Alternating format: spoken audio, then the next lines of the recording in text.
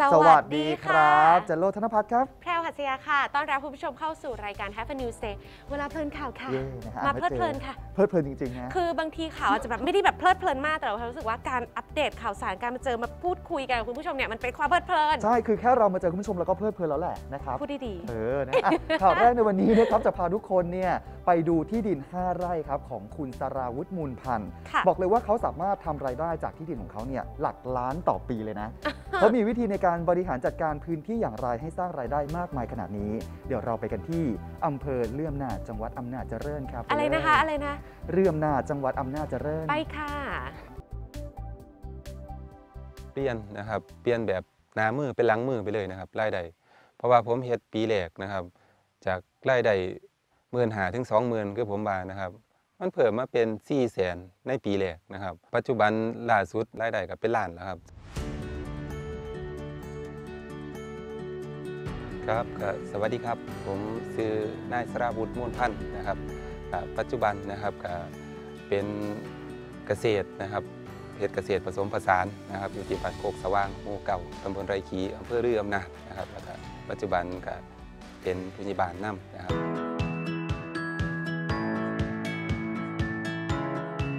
แต่ก่อนผมก็ไปเฮ็ดงานนะครับอยู่ทางกรุงเทพนะครับ แต่มันก็รายได้มันก็บ่พอจะ สร้างความมั่นคงให้กับชีวิตได้นะครับ จนตัดสินใจว่าสีสู่อยู่บ้านนี่แหละนะครับ ถึงสิบ่ได้มีรายได้ยังมากมายแต่ก่อนนะครับ เดือนละ 2,000 3,000 4 5 5,000เฮาเฮ็ดอาชีพเกษตรพ่อได้กินก็เอาเพื่อสิได้อยู่กับครอบครัว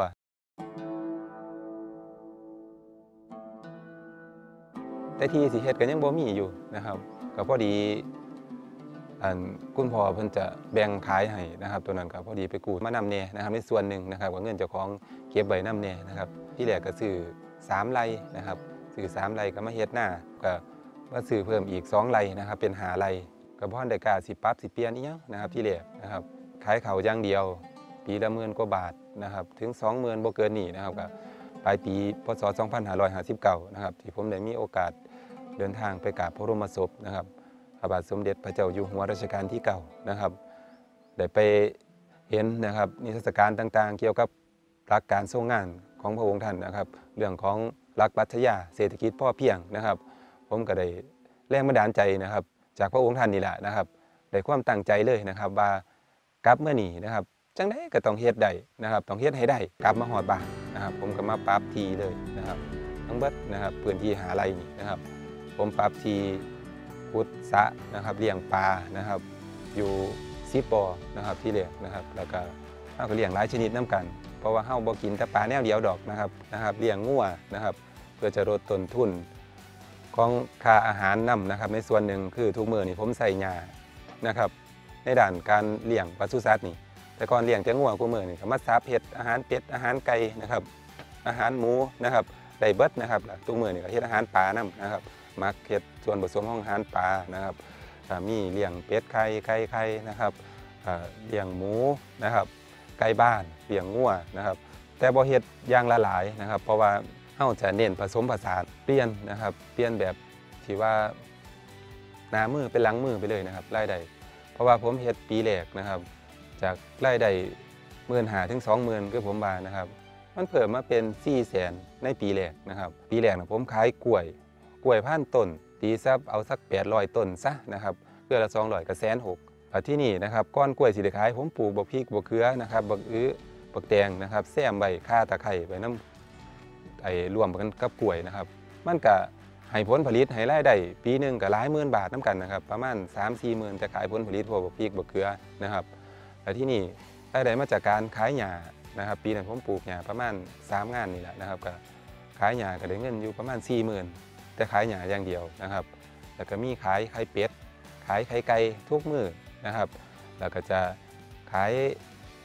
ฝุ่นขี้งัวเน่นะครับก็ขายลูกงัวน้ำเน่นะครับก็ขายสินค้าแปรรูปเฮ้านี่แหละพวกที่มาเฮ็ดปลาสมปลาแห้งนะครับค่อยไต่ขึ้นเป็นขันบันไดนะครับ จากที่ปีแรกได้4แสนนะครับมาปีที่2มีรายได้ปีที่2นี่อยู่ประมาณ6แสนปัจจุบันล่าสุดนะครับที่เฮ็ดมานะครับในช่วงปีล่าสุดนี่ก็รายได้ก็เป็นล้านนะครับสำหรับ ที่เฮ็ดนะครับของเรื่องของการเกษตรนะครับในแปลงของผมมหาลัยนะครับที่รวมๆ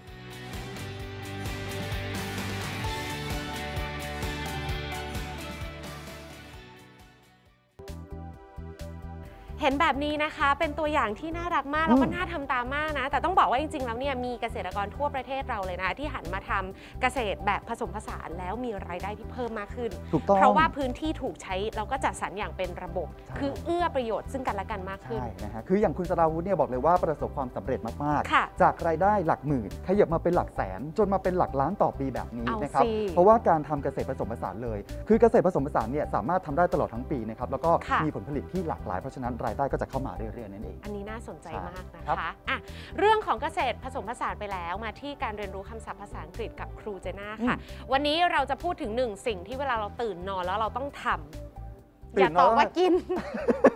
กำลังจะบอกว่ากินเลยเราก่อนที่เราจะกิน เราลุกปุ๊บเราเก็บเก็บที่เตียงนอนอะเก็บที่นอนก่อน เเก็บที่นอนหรือเก็บเตียง เคยสงสัยไหมคะว่าคำนี้เนี่ยในภาษาอังกฤษเนี่ยเรียกว่าอะไรแพรวเป็นคนหนึ่งที่เคยแบบหึใช้คำนี้เหรอ เออเพราะว่าถ้าแปลภาษาไทยแบบตรงตัวเนี่คยรับ มันดูไม่ใช่คำนี้สักเท่าไหร่อืมจะใช้คำไหนติดตามพร้อมกันกับครูเจน่ากับช่วง Words around Hello everyone พบกับ Teacher เจน่าในช่วง Words Around น้องๆ คะถามนิดนึงค่ะ เวลาที่น้องๆ ตื่นตอนเช้าแล้วนะคะสำหรับ Teacher นะคะ I make my bed every morning แปลว่า ฉันเก็บที่นอนทุกเช้าคำว่า make the bed แปลว่าเก็บที่นอนหรือจัดที่นอนค่ะ คราวนี้ค่ะน้องๆ เรามาดูดีกว่านะคะว่าคำศัพท์ภาษาอังกฤษที่อยู่บนเตียงเราเนี่ยมีหลายคำมากๆเลยค่ะคำว่า เตียงนะคะ ภาษาอังกฤษก็คือ bed ส่วนที่วางบน bed ค่ะ ก็คือที่นอนหรือว่าฟูกนะคะ ซึ่งภาษาอังกฤษค่ะ เราจะใช้คำว่า mattress ออกเสียงอีกครั้งหนึ่งค่ะ mattress และแน่นอนค่ะ เราก็ต้องมีผ้าปูที่นอนนะคะ ซึ่งภาษาอังกฤษค่ะ เราจะใช้คำว่า bed sheet แต่ถ้าน้องๆจะระบุเลยนะคะ ว่าเป็นผ้าปูที่นอนที่มียางยืดตรงมุมค่ะ เราก็จะใช้คำว่า fitted sheet โอเค และอีกคำหนึ่งที่ใช้ได้ค่ะ คือคำว่า bed linen โอเค ต่อมานะคะน้องๆบนเตียงเราค่ะ ก็จะมีนี่เลย ผ้าห่มนะคะ ภาษาอังกฤษเขาเรียกว่า blanket โอเค และนุ่มๆที่เราหนุนศีรษะนะคะก็คือ pillow หรือว่าหมอนค่ะ เราก็ต้องมีปลอกหมอนด้วยนะคะ ซึ่งภาษาอังกฤษจะใช้คำว่า pillow case แถมอีกหนึ่งคำค่ะน้องๆ บนเตียงของเรานะคะ ก็จะมีสิ่งนี้ค่ะที่หลายคนขาดไม่ได้และทีเชอร์เจน่าก็ขาดไม่ได้นะคะ นั่นก็คือหมอนข้าง ภาษาอังกฤษจะใช้คำว่า bolster โอเค หรือว่า long pillow โอเคค่ะน้องๆ สุดท้ายแล้วนะคะเพื่อความสวยงามค่ะ Teacher เจน่าก็จะแต่งเตียงด้วย throw pillow นะคะ หรือว่าหมอนอิงค่ะ แล้วก็สิ่งนี้นะคะก็คือ throw blanket นะคะก็คืออผ้าห่มที่เราปูบนเตียงสวยๆ ค่ะเอาละค่ะน้องๆ ทุกๆ ครั้งที่น้องๆ จะเข้านอนนะคะ ก็นึกถึงคำศัพท์ภาษาอังกฤษที่ Teacher เจน่าสอนค่ะ พบกับ Teacher เจน่าอีกครั้งนะคะ ในช่วง What's Around See you next time ค่ะน้องๆบายบาย Sweet dream บอกเลยว่าการตื่นขึ้นมาแล้วเก็บที่นอนเนี่ยเป็นอะไรที่ขี้เกียจมากอ่าบอกตรงๆนะก็ฮะจริงนะคะแต่พอดูแบบนี้รู้สึกว่าเอออยากจะไปแบบ make my bed อ่า every แบบ morning อะไรอย่างเงี้ยเพราะว่าเราค่ะอยู่บ้านตลอดเราก็ต้องทำบ้านให้น่าอยู่ด้วย ถูกไหมถูกต้อง you have to make your bed every อืม morning yes ไม่ใช่ once in a week อาทิตย์ละครั้งก็เหมือนไม่รู้ดีนะอยู่บ้านเดียวกันปะเนี่ย พูดจากการที่รู้จักกันมาประมาณหนึงโอเคโอเคใช้คำนี้ดีละกันดีนะครัคะบก็ขอบคุณครูเจน่าด้วย เห็นไหมเธอบอกว่ามันเป็นคำที่เหมือนเหมือนจะไม่ได้ใช้แบบนี้เพราะอืม make แปลว่าทำใช่ถ้าเกิดว่าแปลตรงๆเลย make bed ก็คือทำเตียงทำเตียง แต่ว่าจริงๆ make my bed ก็คือเหมือนเก็บที่นอน เก็เก็บบเตีเตียยงงทำความสะอาดครับอะไรผมเงี้ยเหมือนคำว่าแบบ do laundry ก็อ่าไม่ได้แปลว่า ไม่ได้แปลว่าทำเครื่องซักผ้าแต่เออหมายถึงว่าซักผ้าอะไรอย่างนั้นอืมดีนะครับค่ะแต่ว่าตอนนี้ครับหมดเวลาของ Have a News Day เวลาเพลินข่าวแล้วนะฮะกลับมาติดตามได้ใหม่ทาง ALTV ช่อง 4 ทีวีเรียนสนุกหรือว่าทาง w w w a l t v t v Facebook กับ YouTube ของเรานะคะ slash /altv4 ค่ะ Line แอดที่ @altv4 และอีเมลของเรา have a news day at altv.tv ค่ะ ครับสำหรับวันนี้จะโลกกับเราขอตัวลาไปก่อนนะครับเจอกันใหม่ครั้งหน้า สวัสดีครับ สวัสดีค่ะ